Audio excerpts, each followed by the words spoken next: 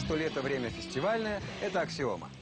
Но еще, большая музыкальная акция может стать отличным началом нового концертного сезона.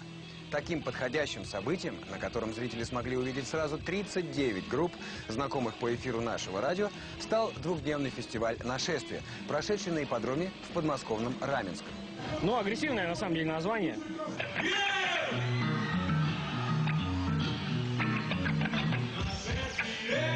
Нашествие тат- монголо-татарских орд э, на Россию, да, на Киевскую Русь. Э, нашествие гитлерских захватчиков и так далее. Сейчас происходит нашествие, судя по всему, э, какой-то очень серьезной новой волны э, рок-музыки, которая поддерживается в нашем радио, на, в том числе и на радиоэфиры. Наверное,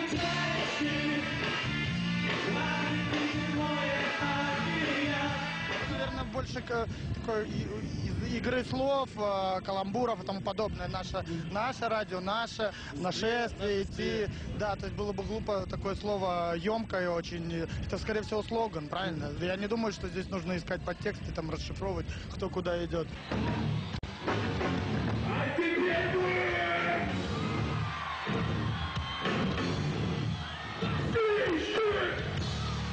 Ну и я надеюсь, что он движется в хорошую сторону. Если уже такое количество коллективов а, участвует в этом фестивале, ну, я думаю, что будет хорошо.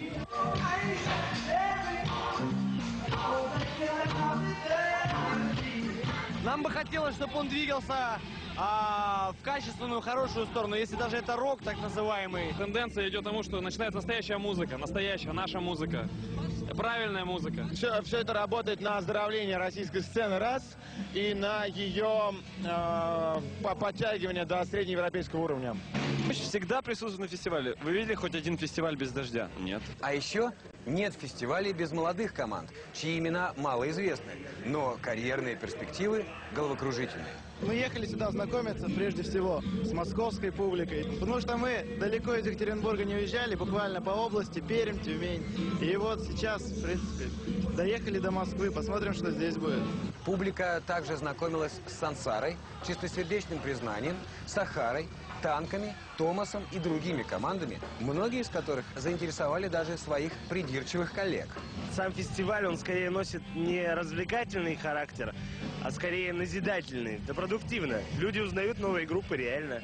Я получил следующую информацию, что мы будем выступать на одной площадке как э, с достаточно известными группами, так и с группами, которым дается, что называется, шанс. Данное мероприятие достаточно полезно. Не только для людей, которые пришли послушать хорошую музыку, но еще и для молодых музыкантов, у которых появилась возможность, что называется, открыть себя.